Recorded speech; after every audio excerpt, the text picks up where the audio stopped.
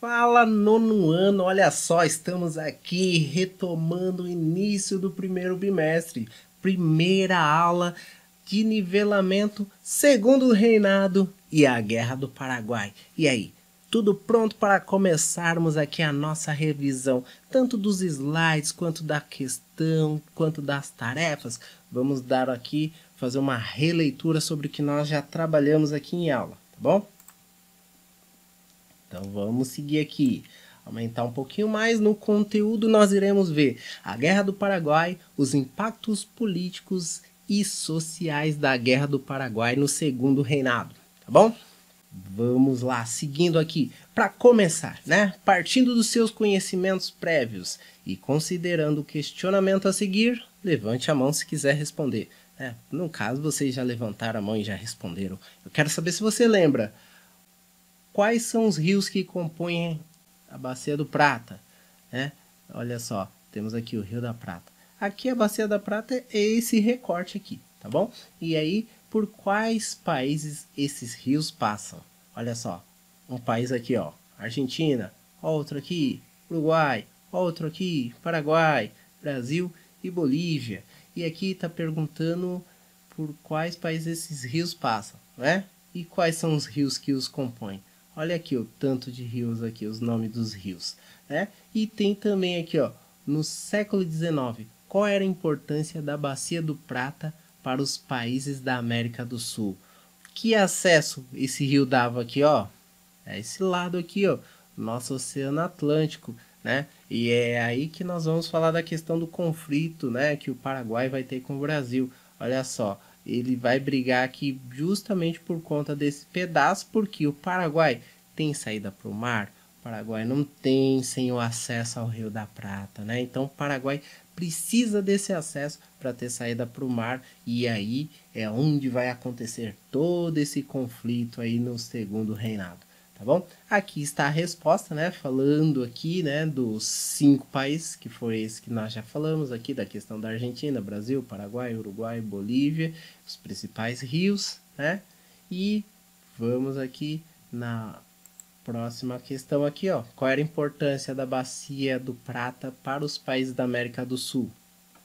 A bacia do Prata era importante porque para os países da América do Sul ter acesso ao mar, né? Essa região era usada como rotas comerciais permitindo transportes de mercadoria entre os países vizinhos, né? Como a erva mate, a madeira de lei, Além disso, as trocas comerciais nessas regiões eram essenciais para a economia e sobrevivência das pessoas, né? Então, a bacia do Prata era um, um, uma rota estratégica para o comércio, porque os rios facilitavam o transporte de produto, né, para os países que dividiam as fronteiras. Então, como você pôde ver, né, cinco países aí você tinha acesso através da bacia do Prata aqui, ó, tá vendo? Então, passando por toda essa parte aqui, você conseguia fazer uma rota comercial aqui muito legal e ter acesso a muitas coisas. Então, quem não tinha acesso, essa bacia acabava ficando com a sua economia engessada e com a sua sobrevivência um pouco comprometida também, né? Então, era importante ter acesso à bacia do Prata. Paraguai que o diga. No caso aqui, é onde nós vamos entrar aqui no conflito que aconteceu aqui ó, na metade do século XIX. O Brasil buscava se fortalecer economicamente. É uma coisa que eu não tenho costume de fazer, né? Ler os slides. Como eu não estou aparecendo aqui, né? E às vezes você pode estar tá ouvindo isso aí num fone de ouvido, como é de costume, né? Então é legal que pelo menos você vai tendo uma memória auditiva daquilo que nós estamos vendo aqui que o Brasil já possuía um vasto território e uma boa parte dele não era explorado nem povoado, e a exploração de recursos naturais e o comércio em regiões próximas aos rios situados na fronteira, como outros países, geravam tensões com países vizinhos. Né? E a Guerra do Paraguai foi um desses conflitos envolvendo o Brasil, Paraguai, Argentina e Uruguai. E teve início quando? Quando? Quando foi que teve início? Em 1864 e durou até 1870. Olha só a pintura aqui ó, do Pedro Américo, né, representando aí a Batalha do Havaí, né, a pintura de 1877. né? Pedro Américo que também vai pintar o quadro de Independência ou Morte que nós encontramos lá no Grande Museu do Ipiranga. Pois é, vamos dar sequência aqui. Olha só quem era aqui, ó, responsável pelo Paraguai na época, ó, presidente Francisco Solano Lopes, né? 1870, você viu lá? Olha aqui, ó. Olha só a duração da vida dele aqui, ó. Tenta. Então se sabe que a guerra se acaba com a morte, né, do Francisco Solano Lopes. Né? Então a guerra do Paraguai teve o principal motivo uma disputa territorial entre o Paraguai e os países vizinhos, porque o Paraguai queria se expandir, ele queria utilizar, né, aquela parte ali da, da prata ali do rio, ele queria utilizar aquela parte estratégica ali da bacia do prata, né? Então ele buscava uma saída para o mar através do Uruguai. E o presidente do Paraguai, o Francisco Solano Lopes, ele buscava expandir o seu poder e influência na região e acabou interferindo nos assuntos internos do Uruguai que buscou aliança com quem? Com o Brasil e com a Argentina. Durante o conflito, essas nações se uniram para enfrentar o Paraguai, né? Que aqui a gente volta aqui, ó. Ele queria sair por onde, ó? Por Uruguai, tá vendo? O Uruguai é quem estava atrapalhando aqui os planos do Francisco Solano Lopes, né? Para ter acesso aqui à Bacia do Prata. Sabe o que, que vai acontecer? O Uruguai vai se unir ao Brasil e à Argentina, formando uma tríplice aliança e aí essa aliança vai se tornar forte demais para que o Francisco Solano Lopes sozinho pudesse vencer, né? Ele esperava fazer aliança também ali para vencer esse conflito, mas ele não acabou não levando a melhor, né? Então a região do Bacia do Prata, onde se encontravam as fronteiras da Argentina, do Brasil e do Uruguai e do Paraguai, foi o palco dessas rivalidades políticas, né? Então vamos seguir aqui. Mas por que o Paraguai?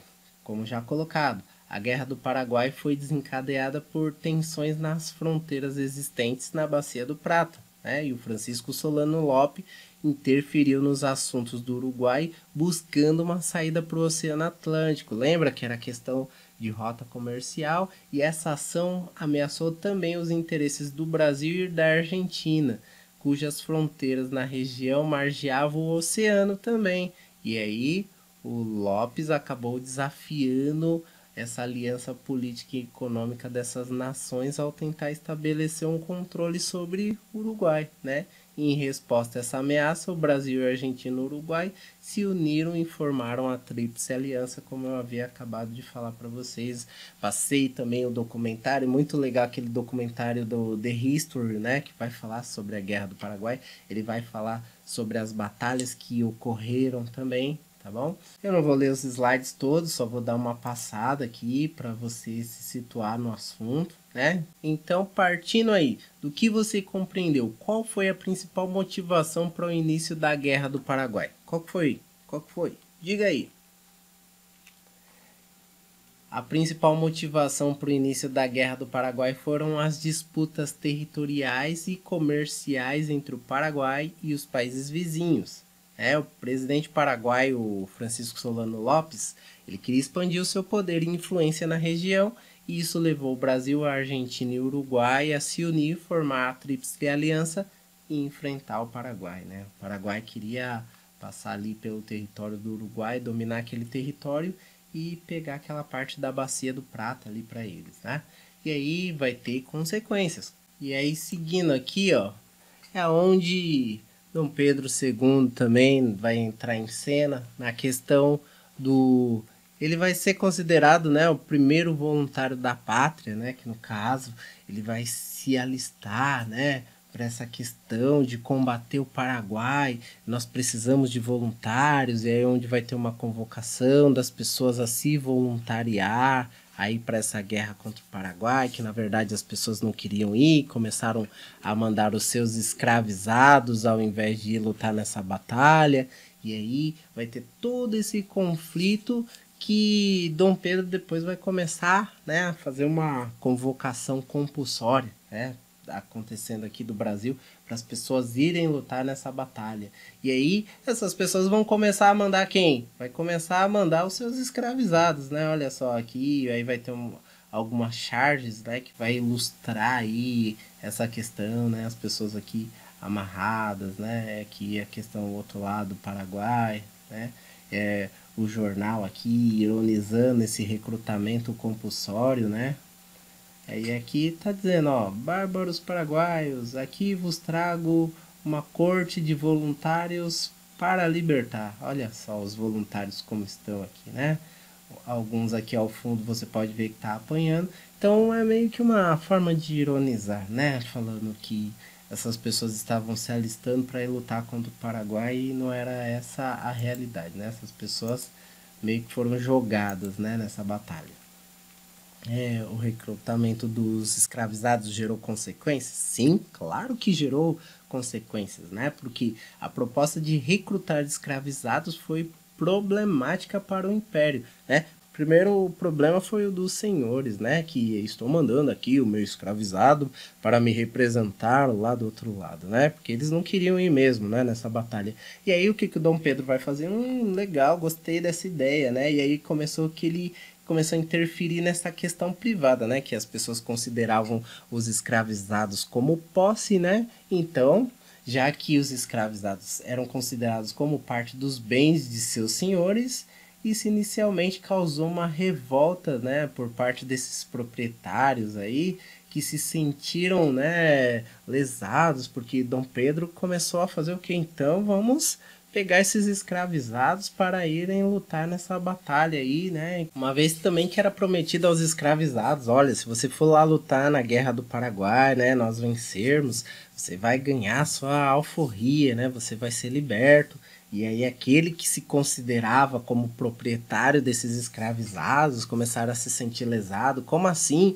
estão se apropriando né, da nossa propriedade, né, estão tomando de nós, vão dar liberdade a esses escravizados caso o Brasil ganhe a Batalha do Paraguai. Que história é essa? Né? E aí, o que, vai acontecer é que Dom Pedro começou a ter inimigos né, no meio da, da elite. Né? Pedrinho II, Pedro 2.0 já começou a colecionar inimigos, né? alguns juntando escravizados e outros juntando inimigos, né? E aqui, ó, o desgaste, né, causado pela guerra entre os militares também criou um ambiente propício à criação da república que vai acontecer em 1889, né? Bom, e como você pode ver, tem muitos, muitos slides, essa falar sobre esse conflito aí é uma coisa muito grande, mas eu recomendo que você assista o documentário do The History, né, sobre a Guerra do Paraguai. Você vai conseguir recapitular muito mais coisas sobre isso, então não vou voltar todos os slides para aprofundar, só vamos falar um pouco aqui ó, dos impactos, né, que foi profundo em todos os países envolvidos, né, além do fato do Paraguai ter sofrido uma devastação, né, muita perda de gente, muitas mortes, muita perda de território, prejudicou a economia, infraestrutura, é, o enfraquecimento da economia, porque quando vai se fazer uma guerra, você contrai dívida, essa dívida precisa ser paga, e para quem vai ser paga essa dívida? Justamente de quem esses países começaram a pegar empréstimos, armas e tudo mais, né? Então acontece que isso também bagunça muito a economia de um país, né? Então não foi muito legal. É onde também vai mostrar o que? O desfecho da guerra, questão do Paraguai, né? Muitas crianças foram colocadas, né, para lutar no fronte de batalha pelo lado do exército paraguaio, né? E, e essa é uma parte que eu acho que foi muito triste, né, na questão da guerra do Paraguai. E aí fica a pergunta: quais foram as principais consequências da guerra do Paraguai para o Brasil? O Brasil não sofreu nenhuma consequência com essa questão da guerra do Paraguai? Sim, o Brasil sofreu sim. Então, o Brasil contraiu uma dívida, uma impopularidade muito grande, né? E mesmo com o país tendo saído vitorioso do conflito, essa questão do recrutamento compulsório, né, dos escravizados é, estimulou o declínio do sistema escravista no Brasil, né? prometendo a eles, olha, vocês vão ser libertos, vocês vão ganhar sua alforria, né? E as perdas humanas e materiais durante o conflito também contribuiu para um descontentamento generalizado, né? No caso da população brasileira, tá se dizendo assim, com questão da elite, né? Aquelas pessoas que falou, como assim? Se apropriou da minha propriedade para enviar para uma guerra, para morrer e se viver ganhando a guerra, vai ser liberto, né? Então a questão Dom Pedro II fez aí alguns inimigos durante esse período por conta dessa promessa, né? E aí o que, que vai acontecer? Vai criar uma oposição ao regime monárquico, né? Então a participação na guerra permitiu o país expandir a sua influência na Bacia do Prata, mas teve o efeito contrário que Pedrinho 2.0 esperava, né? Então finalizamos aqui, né? Rapidamente para falar sobre as questões aqui, vamos entrar aqui nas questões dessa aula? Então vamos entrar aqui nas questões. Olha só, qual foi a principal consequência da Guerra do Paraguai para o Brasil? Acabamos de falar sobre isso, né? Então vamos lá. O que, aconteceu aí como principal consequência? Foi o aumento da dependência financeira em relação aos países vizinhos? O Brasil ficou dependente com relação aos países vizinhos? O Brasil perdeu território de população na região da Bacia do Prata? Hum. A contração de dívidas significativas e a impopularidade crescente da guerra? Será que o Brasil contraiu dívidas e ficou impopular aí? Né? Hum, vamos na D. A perda de territórios e a diminuição de influência na região da Bacia do Prata? É, no caso do Brasil, ele saiu vitorioso né, na questão da guerra do Paraguai. E aí, qual questão que você acha que está correta? Tempo! 5, 4, 3, 2, 1. E aí, qual resposta você acha que está correta? Se você marcou A, se você acertou, pois é, o Brasil contraiu uma dívida muito grande e foi um momento que Pedrinho 2.0, né? Dom Pedro II acabou ficando mal aí, né, diante das elites, né, dos grandes proprietários aí de escravizados. Né? Vamos falar sobre a segunda questão aqui, ó. Como o recrutamento compulsório durante a Guerra do Paraguai impactou o sistema escravista no Brasil? E aí, como que impactou, tirando aí esses escravizados dos seus senhores? Impactou de alguma forma o sistema escravista no Brasil? Opa, vamos lá. Questão A. Não houve nenhum impacto no sistema escravista. Continuou tudo igualzinho. B. Levou à imediata abolição do sistema escravista. Se você sabe que a Guerra do Paraguai finalizou ali com a morte do Solano em 1870. Será que nesse momento foi o momento da abolição da escravatura aqui no Brasil? Há de se pensar. Vamos na questão C. Intensificou a opressão do sistema escravista. Então, ó, aumentou ainda mais a opressão aí do sistema escravista. E você, o que, que você acha? Estimulou o declínio do sistema escravista? Como é que é? Sabe ou não sabe? 5, 4, 3, 2, 1. Para de olhar para essa tela aí com cara de gol contra. Você sabe sim, você sabe a resposta certa. É essa mesmo, ó, estimulou o declínio do sistema escravista. Pois é, se você começou a mandar escravizados para lutar na guerra, é lógico que vamos ter baixas, né? E aí, vai trazer mais? como, né? Tinham leis que, que haviam já sido regulamentadas, lembra? A proibição, Eusébio de Queiroz, né? Essa questão dava para o Brasil trazer mais escravizados para cá? Não, não, não. E aí o que aconteceu? Aqueles que tinham estavam perdendo seus escravizados porque eles foram convocados compulsoriamente para a guerra, né? Então declinou o sistema escravista, né? Caiu, né? Muitos morreram nessa questão da guerra porque primeiramente os proprietários de escravizados quiseram mandar eles para ir lutar na guerra, né? Depois, né? Não, não vem reclamar que Dom Pedro 2.0 quis mandar eles para lá, né? Das duas formas, eu acho que, que não foi legal, né? Para os escravizados, né? Mas fazer o que, né? Estamos falando sobre a história do que aconteceu aqui no nosso Brasil e finalizamos a nossa primeira aula do primeiro bimestre aqui do nono ano de História. E aí, gostou dessa nossa revisão juntamente aqui, trabalhando essa questão das tarefas do CMSP? Então eu te vejo na nossa próxima revisão. Até breve!